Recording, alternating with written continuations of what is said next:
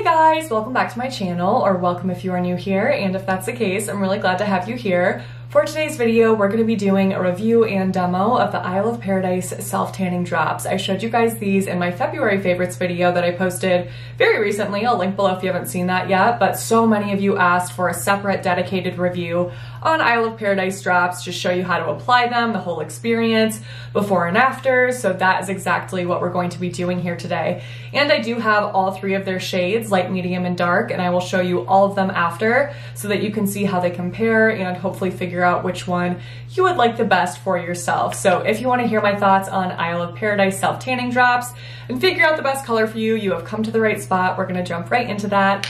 Before we do, if you are new here, my name's Abbey and I'm obsessed with all things beauty. So whether that is reviewing new products like this and sharing them with you guys, or just researching skincare and hair care like a complete nerd and sharing everything that I find. I love to do all of those things and if that's of interest to you, don't forget to subscribe to my channel and give this video a thumbs up.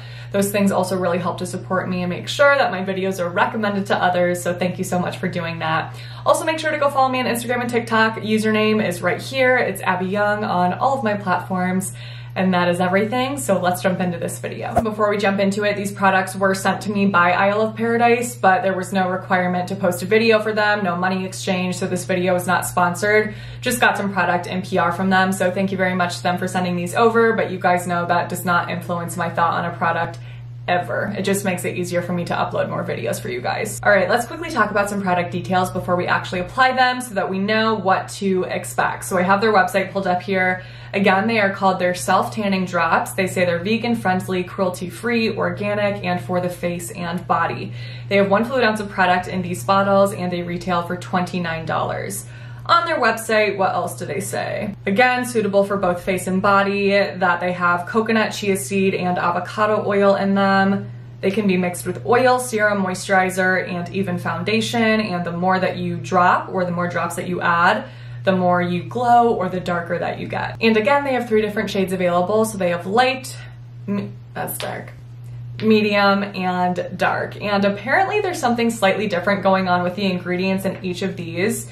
At least that's what the brand claims. So for the light self-tan drops, they say they have a peach color correcting active to brighten the skin and create perfect light sun kissed glow. This is ideal for anyone who is new to tanning or paler skin tones that would prefer a lighter glow. The medium drops say that they have green color correcting actives to cancel red tones and give the perfect medium golden tan. This shade is their best seller. They say it's universally flattering and enhances all skin tones. And then the dark drops say they have violet color correcting actives to give the ultimate dark bronze this works perfectly on darker skin tones or for anyone looking for a deeper tan. And I'm obviously not a chemist, so I'm not developing self-tanners. I don't know what the difference would be between those color correcting actives and how much of that is actually true versus them just being different shades at the end of the day. I've of course tried all of these and can say that they definitely do develop to different levels of depth or darkness, but that's probably as far as I would go. I don't know that I noticed any difference as far as the peach versus green versus violet, but maybe you guys will feel differently when I show you the after clips. And then last thing I wanted to bring up about the ingredients in these is actually why I choose to not apply them to the skin on my face. So I know I'm asked a lot all the time actually what self tanner I use on my face, probably just because of how much I talk about self tanner and I don't apply any self tanner to my face because I still have yet to find one that is fragrance and essential oil free including these as well. So they do have several different forms of essential oils like grapefruit peel, peppermint oil, eucalyptus leaf oil, sage oil, synthetic added fragrance. And again, while that doesn't irritate the skin on my body, something like this would really, really sting and burn and give me that hot, fleshy face that is no fun to deal with. So that's just a personal choice for me. You can absolutely apply these to the face if you would like to, and if those ingredients don't cause sensitivity for you. Go for it, but I just personally don't. All right, now let's jump into application and before and after. So I'll just show you guys right here how nice and pasty and frosty looking I am before. For reference, oh man, I'm so pale naturally. It is the worst. I think my brother beats me, but otherwise I am the palest in my family. Like my youngest sister, Libby, she's probably five shades darker than me, I swear. It's not fair. All right, I'm pulling up my tan tracker here. Yes, I literally made a note in my phone called tan tracker. so that I wouldn't forget details like this because I'm going to be doing another self tan showdown soon. Stay tuned for that but I needed to make sure that I really remembered everything that I did for these reviews. So I'm consulting my tan tracker. So I applied 16 drops of this in total, and I will break down in a second how many I applied to different sections of my body, but I know that they said 2 to 12 max. Keep in mind, I'm almost 5 foot 11, so I definitely have more body than the average person to cover. So whenever I see things like that, I do know that I typically need to add a little bit more in order to get the even depth of color that I want. So here is how I broke this down. I applied three drops to each leg, three drops total to both of my arms, so one and a half drops per arm, two drops for my mid to lower back, one drop for my upper back, and then pulling that forward to my shoulders. Then I applied two drops to my stomach, two more drops for my décolleté area, so chest, neck, front of shoulders. So I just took my Vanicream light lotion that I've been using on the body and used that to mix with these drops. I think that that was a really, really nice lotion to pair with these because it is a little bit lighter weight and easier to mix. You guys may know that my favorite, favorite, favorite body moisturizer for self-tanner is the Cetaphil Moisturizing Cream.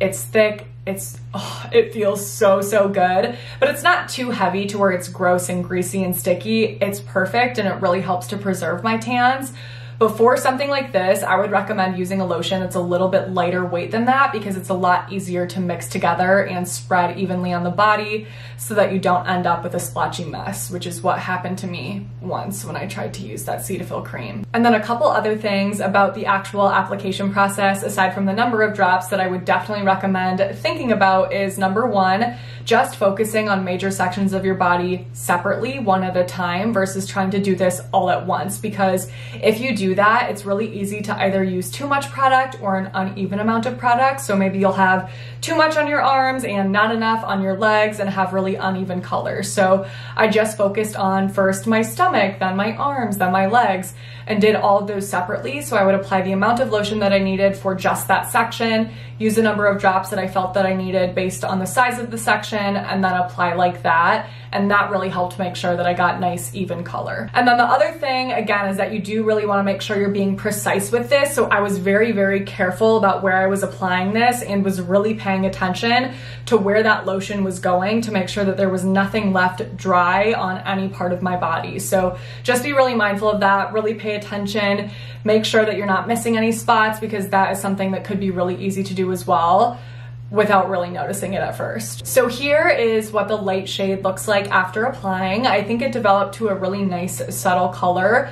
Definitely not dark enough for me to want to use again with that amount of color. I would definitely use more drops because if I'm applying self tanner, I want to look tanner than that. Otherwise, it's like, what is the point? I may as well just stay tan. So, if you're even more fair than me, I think that this could be a really great option. Or what you could do with it, if you really like something that's lighter and more natural, if you are pasty like me, but you want it a little bit darker, is to just use more drops. But again, still be careful with application and really make sure that you are evenly applying this all over the body. Okay, now let's jump over to the medium shade. So again, I applied this in the same way that I did for the light shade. And as far as the depth of color, I think that this is my perfect wintertime self-tan shade because it's not as obvious that I have self-tanner on. I mean, it still is obvious for those that know me really well and know how pale I am, but it's not so dark that it looks like I just came back from vacation or I've been in a self-tanning bed not doing that. You know what I mean? Versus in the summer, if I'm wearing a really dark self tanner, I feel like that's less obvious because everyone's getting a sun kissed glow. And here in Minnesota, I'm not getting a tan in the winter, and everyone knows that. So I really like the medium shade for that. Winter time, early spring, late fall, I think it's really, really nice. And again, the color developed nice and evenly. I didn't have any concerns with splotchiness. I think it looked really, really good. And finally, the dark shade. Again, no changes here to how I applied this, but this gets so, so nice and dark, which I love for the summer because again, I do not lay out in the sun at all. So I just always feel more comfortable in the summer in short shorts or a swimsuit with a little bit of a tan. Again, that's just me personally. Of course, I'm not saying there's anything wrong with just rocking your natural skin tone. I wish that I felt comfortable doing that, but I am not there yet. Maybe someday. Not yet. So this helps me. I just love a good tan, you guys. Okay, so now that you guys have actually seen all three of the colors in action, let's wrap up with some of the other things that I always like to go over for my self-tan reviews, like smell and how well they fade and how long they last. So ease of application, so easy. 10 out of 10, five stars in my opinion. If you're used to applying self tanner with a mitt, it's just a little bit of a learning curve at first, but once you do it one time and you feel comfortable with it, I think it's less of a hassle than applying self tanner with a color guard and a mitt. And then you're walking around all day like this in shorts and a t-shirt trying not to get yourself tanner on anything else. I just hate that. So this is my personal favorite self tanner application process yet out of any self tanner that I've tried. Unfortunately though, this is definitely not free of that self tanner stink or self tanner BO like I like to call it. So it does smell while it's developing and for me you can still kind of smell it the next day even after you rinse it off. It's not until the second day that I feel it's fully gone and no lingering stink is hanging around. I will say that it's not nearly as intense as some other self tanners that I've tried, so definitely not the worst of the worst when it comes to the smell, but it's not one that is free of self tanner BO, unfortunately. But aside from that, I actually think everything else is a positive too. So it lasts a good six to seven days on me, which is pretty standard for self tanner. The only self tanner I think that I have tried that lasted significantly longer was the Coco and Eve self tanner. And I will list my review in my description box below on that product if you haven't seen that yet. That was lasted so long, was so, so dark. That's a fun self tanner, but a good six to seven days with this product and it also fades really, really well. So I'll show you guys here. I believe this was on day six after wearing the medium self tan drops. Obviously you can tell the color is not nearly as dark, but it's fading so nicely. There's no splotchiness or streakiness. And that is definitely something that I have issue with with other popular self tanners, like Loving Tan, for example. That starts to streak so weird on me in my arm region here. I don't know why. Ooh, and then last thing that I almost forgot before we wrap this up is that these do not stain or transfer for me onto sheets or clothes. I know a lot of people hate that, myself included, and thankfully because these don't have a color guard, you're not gonna wake up with a gross self-tan stain on the bed. And that is officially everything that I wanted to cover for this review. So I would definitely recommend Isle of Paradise drops. I think no matter what color you go with, depending on your skin tone and what you're trying to achieve, I don't think you can go wrong.